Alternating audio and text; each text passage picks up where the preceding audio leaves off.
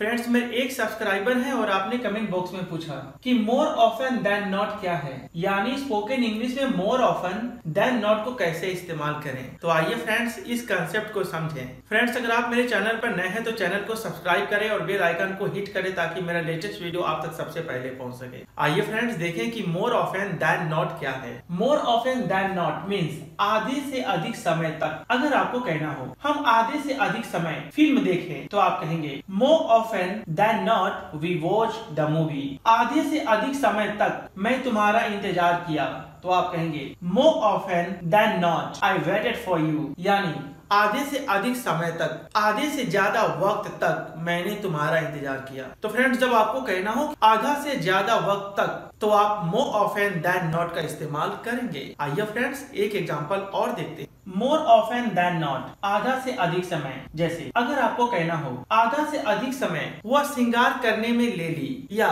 श्रृंगार करने में बर्बाद कर दी तो आप कहेंगे more often then not see wasted in making up friends अगर आपको कहना हो, आधा से अधिक समय तुम बकवास करने में गुजार दिए। तो आप कहेंगे more often then not you went on talking nonsense यानी आधा से ज़्यादा वक्त तुम बकवासबाजी करने में गुजार दिए। फ्रेंड्स अगर आपको कहना हो, आधा से अधिक समय तुम प्रचार प्रसार में गुजार दिए या बर्बाद कर दिए तो आप कहेंगे more often then not you wasted in publicity आधा से अधिक समय तुम खाने में गुजारे तो आप कहेंगे more often then not you passed in eating तो उम्मीद करता हूँ फ्रेंड्स कि आपको phrase word more often then not का मतलब समझ में आया कि more often then not means आधा से अधिक समय या आधा से ज़्यादा वक्त। फ्रेंड्स वाकई अगर आपने इस टॉपिक को समझा तो क्या इस टॉपिक पर दो सेंटेंसेस कमेंट बॉक्स में लिख सकते हैं, ताकि मैं देख सकूँ कि आपने कैसे सीखा, सही या गलत। फिर मिलेंगे एक नए वीडियो में, तब तक के लिए बाय